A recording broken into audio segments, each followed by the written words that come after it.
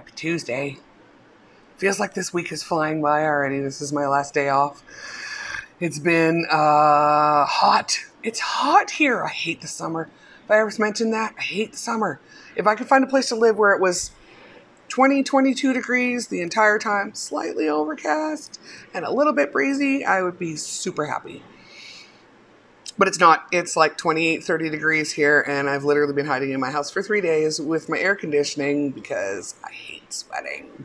I have to do that enough when I work during the week, so I just hide from it all weekend long. It's totally fine. Um, so let's get into this week's. Um, the Let's Get This Chateau into Shape was fun to watch. Holy fun to watch. It's in the three, well, four, I guess, almost five months that I've been watching um, the Chateau Diaries and seeing the differences little by little. Every week there's something new. The last little while is like a dozen things new all at the same time. There's literally, I don't think, a day that something new doesn't happen in that house. And that's because of Tomas, that's because of Selmar, that's because of Natty, it's because of Marie. It's it's really, really quite stunning um, to see how quickly it's going and how much of an impact you guys have on what's happening. Um, I can't yeah, it's hard to wrap my head around sometimes, but it's so much fun to see. I almost feel a little bit sad because by the time I get there, so much will be being done that I'm not sure there's going to be anything left for me. But it's fine. It'll be springtime. And yeah, Natty, just so you know, not November, definitely spring instead. I'd rather be there when the gardens are starting and there's things outside to do and walks to take and all of that stuff anyway, um, yeah, it's really, really stunning. Um, I was watching a little part where she, Steph was upstairs with Isabel in her apartment. That canopy over Isabel's bed, I need. I need some form of that over my bed. Um, during the three months on lockdown, we finally, after three and a bit years, redid our master bathroom and our master bedroom which up until then had been a dumping ground for everything, kind of like Stephanie's hallway of doom. It was my room of doom. Um, and it's now lovely. I'll actually um, post some pictures somewhere because, well, not necessarily the bedroom. You've seen the picture thing. My bathroom, I redid in sort of a chateau inspired way. Um, the floor and the ceiling, particularly. So when I get to it, I'll post the link or something on in for my Instagram thing or something and show you guys that because yeah it was quite the project but it's really neat and i really like how it turned out. It's super purple which is one of my favorite colors. It, you can tell my house is all kinds of colors. My kitchen is bright yellow. Um, my whole dining room and living room are this red. I actually had them paint this red before i moved in here because i knew that was what was going on the wall. Um, so every room is a different color um, yeah, the canopy. I when I come over to France uh, in the springtime, I'm bringing a whole extra suitcase, like an empty giant suitcase, just so I can go to the charity shops and fill it with fabric. Um, I feel bad for the guys who are going to have to put that suitcase back on the plane, but not that bad. I'm still going to do it because um, I'd love to bring home something stunning um, that I can turn into a bed crown like that. That would be wonderful. I don't know if my husband's going to love it too much, but he'll live with it because he loves me. It's fine. Um, that was super sweet to see Michael uh, return the Karen Miller prints for Stephanie, uh, the one that got damaged anyway, in time for her birthday. That was lovely. Um, wonderful prints. I think unless I miss my guess, that link to Karen Miller's artwork should be uh, at some point soon, if not already, in the files where you can find everything else um, related to the chateau, all the clothing companies, the tea companies, all of that stuff. all in there. So that should be added if it hasn't been already. Um, I'm going to go in and have a peek because I'd like to see more of her work, uh, to see what else she creates. I always love new stuff. I'm a big fan of artwork. This one right here and this one right here, my girlfriend did for me. Well, she did them and then I bought them from her. This one right here, I bought from Marketplace when we bought this place because I live with a musician. Anyway, um, okay, so these chickens, these chickens that Dan is bringing, uh, Brahma chickens, are huge. Like, I don't know if you all understand how big these chickens are. I saw a picture today of about a five or six year old child holding one of these chickens. This thing took, t- took up two thirds of her body length. It was so big. Um, I'll stick a picture, probably right there. And that's what one of the chickens look like. Look how fancy their feet are. I just want to watch them dance around all the time. They're super cute. Anyway, um, yeah, I can't wait for those. I have a thing for birds. I love chickens. I have friends who are scared of chickens, and I never really understood why. They're scared of. They're cute. Um, I also looked up the Serama chickens. They're tiny. Dan's not kidding. They fit literally in the palm of your hand, and they're itty bitty. So this right here is a hen. Um, I didn't grab a picture of a rooster, but if you're curious, go look them up because they're super cute and beautiful, beautiful birds um, all different colors, all different. Yeah, their their tails go straight up at the back and then plume down. It's really really sweet. So I can't wait. I hope she gets some of those too. Apparently they get along with the tiny ones, so that'll be fun. Anyway, um, keto yesterday didn't go up properly. Obviously, you're all aware of that now. Um, that will be posted tomorrow night. She managed to get today's vlog up, which is good. Um, all happy about that. Uh, yeah, keto will be tomorrow instead, and then we'll have another one on Thursday, and then Michael's will be Friday, and I'm super excited for that one because he's off on an adventure somewhere, and he's not telling us where he is or where he's going. So pretty stoked to see what he comes out with on Friday. Um, his vlog on uh, last Friday was lovely. It's one of my favorite things. I grew up on 40 acres of farmland. So, one of my favorite things when I was a child was running around through the woods and just exploring things. We had a stream and we had, you know, the neighbors' fences that we'd climb over and pass through, and we had cows that would chase us. There's a long story, but yeah, whole herd. Terrifying. Um, it's not a thing you want to experience anytime in your life. Um, they seem very docile. Cows are mean when they want to be, so it's best to just stay out of their pasture, usually. Um, but that was fun. It was neat watching him tool around and find all the little bits and pieces. And you think, you know, you live on 60 acres, and I think we would all take it for granted. It's always going to be there but to actually go out and have a wander around was really neat. And for me, um, after having done the story for Ernest, all I could see in that was continuations of Ernest's adventures. So hopefully, at some point, I'll be able to write some more things because that was really fun. Um, and the reaction from all of you was uh, amazing. It's not what I expected at all. I'm so tickled that you all loved it so much. And I appreciate the love and support um, that you showed for that one. So hopefully there'll be more in the future. Um, yeah. Anyway, I think that's about it for the week. Um, the vlog this morning was, as always, super fun. Um, I think I need one of those robes. I, I need one of those robes. I think I might need the blue and white one or mommy's one. One of those two. Because, oh, those are beautiful. Yeah, I'm going to have to look into, uh, into, uh, ordering one of those. Because why not? I should wander around being fabulous all the time, should I not? Shouldn't we all? Really? Anyway, um, yeah, so that should basically cover the week, I guess. there's a lot going on. I could talk for hours about it, I'm sure, but I'm pretty positive you all have seen it. It's good. Um, I mentioned when I posted this morning that there's been another running theme for me this week. I'm having a lot of conversations with uh, our members.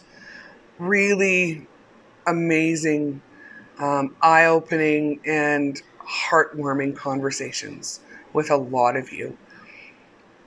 Um, a lot of people responded uh, really well to me talking about, you know, finding your purpose and that uh, inspiration that I ended up with uh, from uh, the interview with Oliver. Before I forget, the interview with Mummy. If you haven't seen that yet, literally turn this off and go watch that right now. That was the most fantastic thing I think I've probably ever watched in a really long time. Mummy is hilarious. That train station story, I I won't say it because it was gross, but I laughed in the middle when I shouldn't have, and yeah, it wasn't fun. Anyway, um, yeah, if you haven't seen it, go watch it. She's she's fascinating. I really, really find her fascinating. She received a book uh, a couple weeks ago called Angels in My Hair, and it's about a woman who has um, the ability to hear, speak to uh, the dead, and had it all her life. I'm a big fan of that stuff um, and a great believer in it. I didn't really think that Mummy would be. And it turns out she is. So I'm going to get that book and I'm going to read it. If you haven't seen that video, go watch. I have a tendency to look at life uh, very differently than most people because of the experiences that I've had. Um, at 18, I took care of my dad while he passed away from cancer. Uh, with a stepmother I couldn't stand. Um, nine years later, my mother passed of cancer as well. Um, and then losing my son five and a bit years ago, I look at life in a much different way than most people. And I have to remind myself a lot that most people haven't been through and experienced what I have. They don't see things the way that I do. But what it comes down to for me, no matter how much I fear doing something, I fear not doing it more. I don't like, personally, to have that feeling of, I should have done this or I could have done that and I didn't take the shot, I didn't take the opportunity. I want to be able to say I tried, no matter what. I don't ever want to give up on something knowing that I didn't do my very best to make it happen. You have no idea what you're capable of. We underestimate ourselves so much every day. That fear is short and it's controlling you. Because we always fear things that we don't understand, that we don't know, until we get to the other side and then we understand them and we know. One of the best pieces of advice I ever saw was do something every day that scares you. Do it anyway. If it doesn't kill you, what's the worst that can happen? You fail, and then you try again, and you might fail again, but this time you're that much better than you were the last time. Every time you try, it's that much better. And one of the best quotes I've ever heard is other people's opinions of me are none of my damn business. That's it. They're none of my business. I'm going to do what I'm going to do. I'm not going to hurt anybody. I'm not going to cause anybody any grief. I'm going to spend as much time as humanly possible and as much energy as humanly possible putting good things out into the world and love and support and kindness and building other people up. But I'm going to do it my way. Period. And you're either going to like it or you're not. I don't have any control over that. What I have control over is me and what I want to see happen in my life, what I want to try, what I want to experiment with, what I want to leave as my legacy when I'm done here. It's one of those bucket list things. I just have to. It's like taking a trip all by myself. It scares the hell out of me. I gotta tell you, it scares me. I'm still doing it because I know that it's something I need to do for me. The same as the solo trip. Um, you'll pardon me. My allergies are driving me crazy, and Mother Nature is literally trying to kill me right now. Um, there's so many things. There's so many things. The only the only thing I regret not doing before I had children, because I had my first one at 23, um, was traveling. I still have time to go and do all the things that I've been dreaming of doing for 26 years. Because that's how long I've been parenting 26 years. It's a long time. It's more than half my life, almost. Um, and it was hard to wrap my head around, you know, now that she's 17 and a bit. She'll finish out the last couple years of her teenage years with her dad. What does that mean for me? What do I do now? I've never known myself to be anything but, well, a mess and then a mom, which saved me from being a mess. Um, so I've literally had to, during this lockdown and in the last few months, redefine who I am and what my role in the world is now.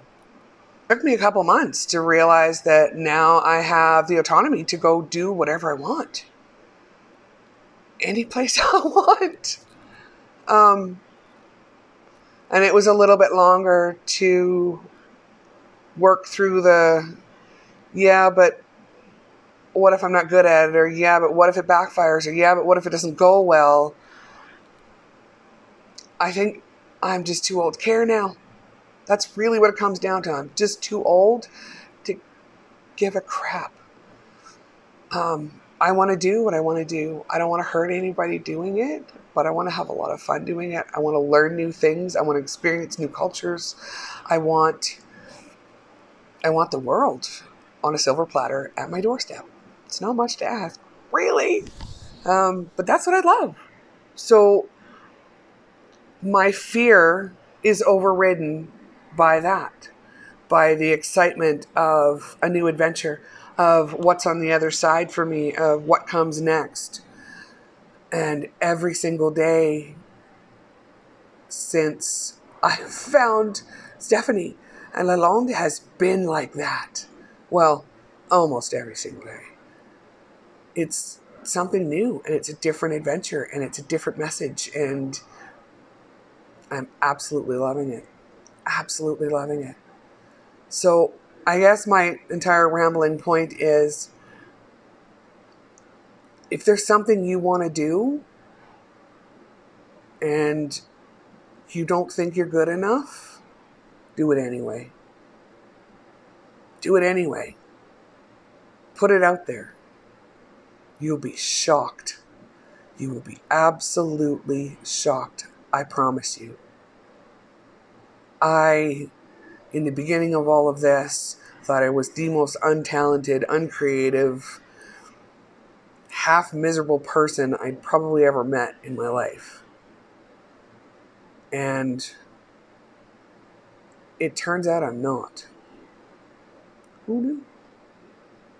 I can do things. I can write still. I haven't written anything but errand lists since my father died when I was 18. I'm almost 50 now. That's a long time. And that story literally came out of nowhere and wouldn't let me rest until I got the rest of it out. So, you never know. You never know. I would encourage you to, yeah, write a list of all the things that you fear and see if you can figure out why you're afraid of them. What is it about that one thing that scares you so much? And really ask yourself do I fear it because it's going to end my life? Or do I fear it because I'm embarrassed by it? Or because I might be embarrassed by it? embarrassment goes away. Um, I think a lot of that for us comes from childhood, for most of us, comes from childhood, from being embarrassed in front of our peers and being laughed at and all of that stuff. But we have to remember, we have to remember, especially now, that we're not surrounded by that anymore. We're surrounded by almost 5,000 people who want what we want who want to support us and spread love and joy and laughter and make dreams come true. There's, everybody says there's a magic that comes from La Lande.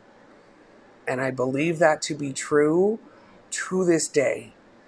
Um, if you haven't heard the story of Henri, look it up.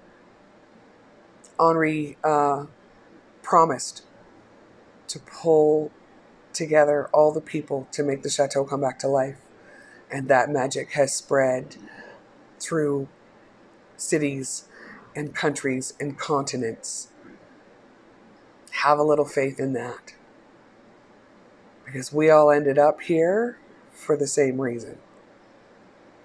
Never know. Never know what's in store and what's around the corner. A little bit of faith, a little bit of courage, and you can do everything you want to do. Except, really, if you want to be a gymnast. I don't think I could do that. No, no, that would end. That would end terribly. Hospital visits and whatnot. So okay, fine. There's some limitations, but really,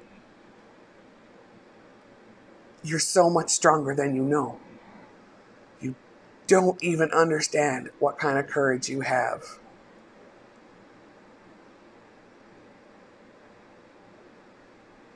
You don't. So, make yourself some lists. Figure out what it is you fear. And then see if you can find something relatively in your comfort zone to conquer it. I'd be interested to know what it is you find. A little bit of courage goes a really long way. And if you ever doubt that, you remember Stephanie and her very first vlog and look at where we are now. That's all you need to know.